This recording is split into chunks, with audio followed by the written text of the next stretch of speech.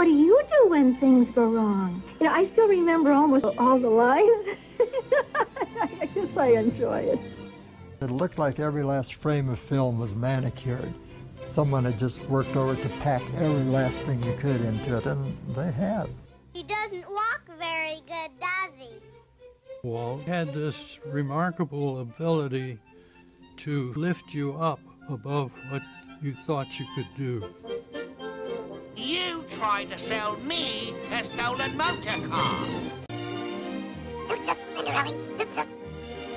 When Peter Pan and Alice in Wonderland were re-released in the theater, and they were well received each time, I began to realize, my goodness, this has a life. And then I really felt blessed.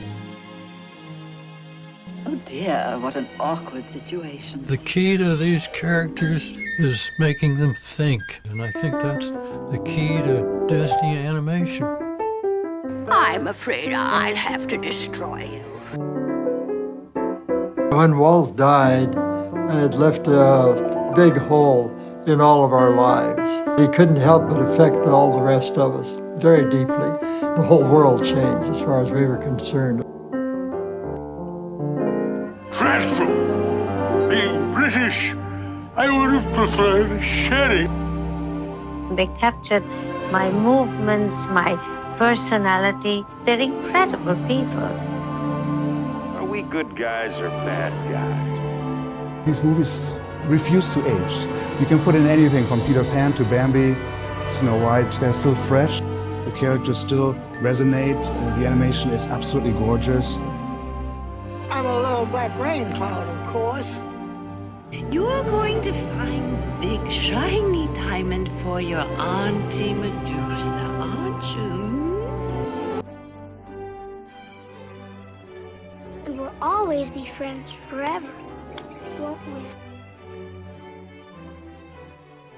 with Ratigan and the other characters, we developed what their history was, what it was like for them growing up as a kid. Why did he go bad?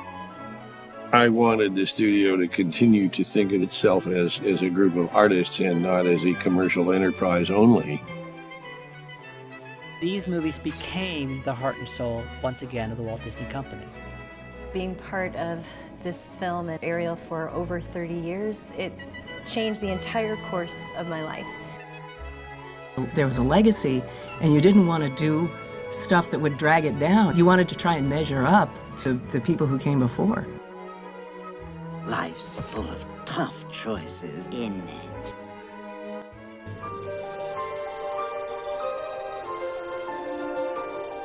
How proud I am to have been a part of these movies with the best in the world. It is you. She's wiser than the wise men, wiser than her father, and stops a war.